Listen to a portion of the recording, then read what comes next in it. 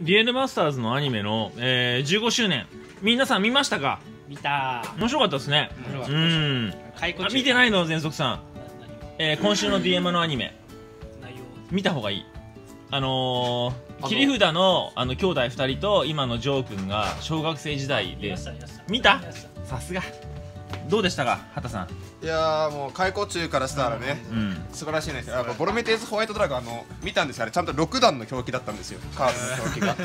いやもう嬉しかったですね。あそのその時出たカードその時出のたカードをそのまま。え相当こだわってんなそういうのは。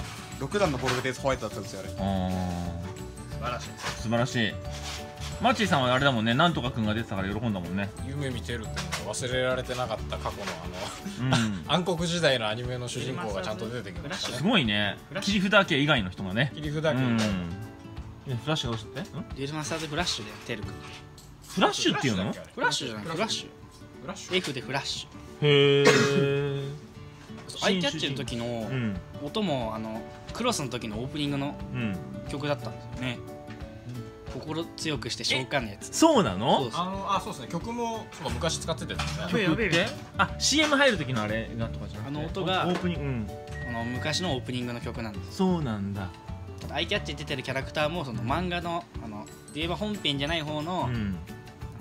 外伝？うん。みたいなキャラも大体いて解雇中本当歓喜みたいな。昔から知ってる人ほどめちゃくちゃ楽しめますよね。そうなんだ。いやいやいいと思う。いやうん映画にしてもいいぐらいの感じだなと思った本当にさ。どっちうん。素晴らしかったです。まあ来週もでしょ？まあしばらく続くのかな？来週あたりで終わりじゃない？来週で終わりかな？うん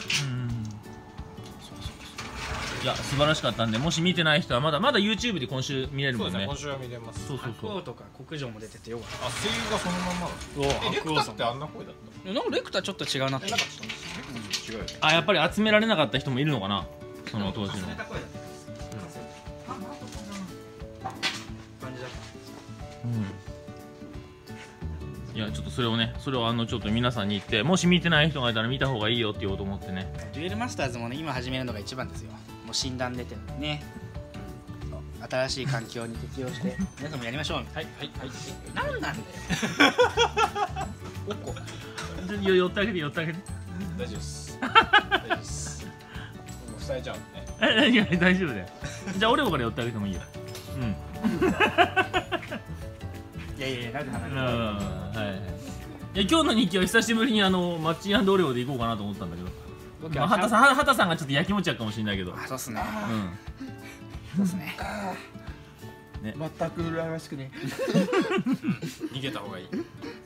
いやいやでもほらふたね着せずして2人ともなんか DM のアニメで熱く語ってたからやっぱ2人は通じ合ってるなと思って。まあ世代同じなんでね。そうですね。年同じ。なん。でまあそれだけですね。それ以外は何もないです。